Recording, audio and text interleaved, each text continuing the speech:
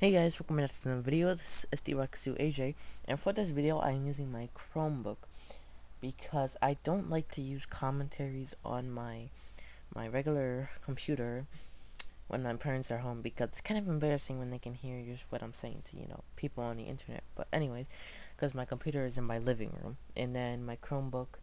I can, you know, take into my room and close the door, blah, blah, blah. So anyways, um, yeah, this is the Chromebook. I'm using TechSmith Snagit to, uh, record Anyways, yeah, so the main topic of this video is that people are saying that Animal Jam is all about the money, they're just greedy, blah blah blah.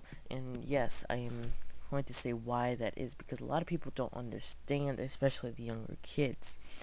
Now, what you're saying is that you're, um, what I'm going to say, saying is that you're a company, okay, and you need to make money. And how are you going to make money? You're gonna, you're gonna, um, since this is a game, and their money flow is by, um, getting membership because if you play the game for free, you're not giving them any money.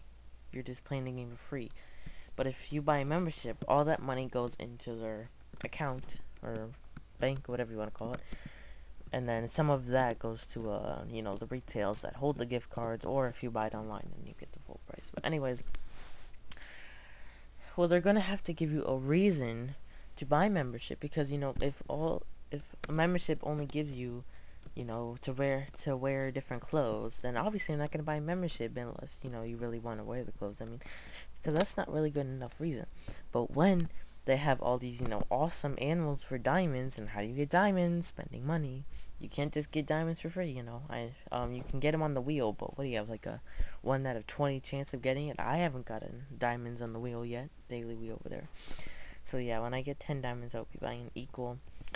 And then people are saying, and then another advantage of buying, you know, for Eagle, you do that, uh, I forgot what it's called, the Forgotten Desert or something like that, and you have to collect all the diamonds. I heard, well, I know you can get spikes for that, but you can also get other rares from that, so that's going to give you another reason to get membership, so you can get those rares, wear them, you know, feel special about yourself, anyways.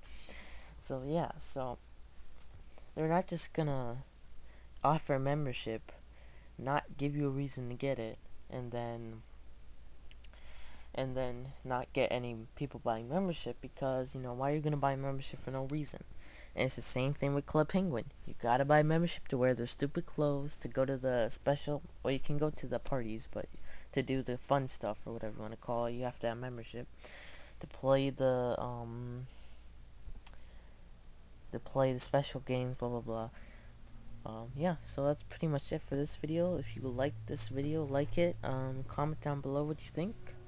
Subscribe for future daily videos just like these. I'll see you guys later. Bye-bye.